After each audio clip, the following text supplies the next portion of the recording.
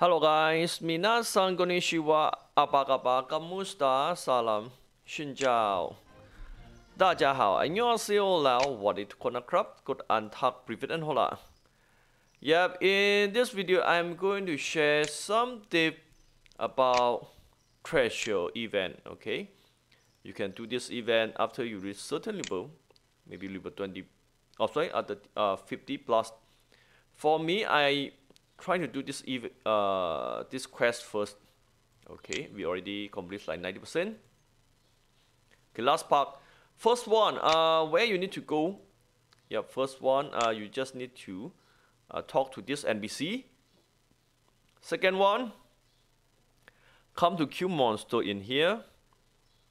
Okay, third one, come to this NPC. Okay, you need to use gold. Okay, now we're going to find the correct okay. Uh, use I'm not this one correct or not? It's figure not I have no idea. Okay this direction now going wrong here? You let me guess.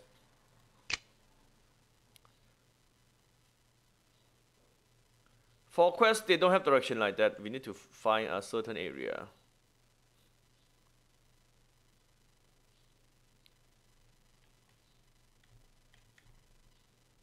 Moving, keep moving. Oh, have boss there. Can we go there? How come?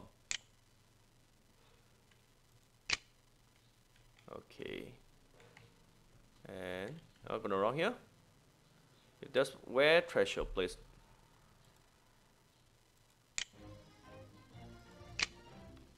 Okay, that's how it looks like for treasure quest finally. Uh, for bamboo quest, Okay, bamboo.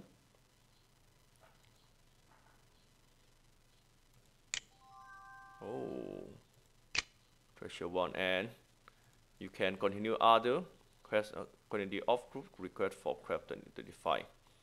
And next question is how to uh, get this thing. Okay, we can buy from NPC. Okay, another 10. We can buy from this NPC. Uh, but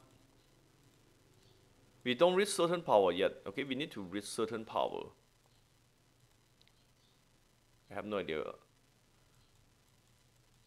Uh, it's based from character, I guess. Okay, my character is still 60k. And here, what you can buy is random.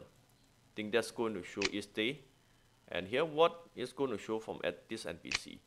Uh, best thing is just buy everything daily. Okay.